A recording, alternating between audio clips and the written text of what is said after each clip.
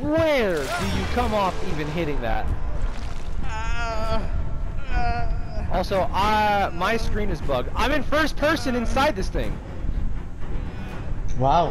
What? Dude, this is so cool. I'm in first person inside this thing. This is neat.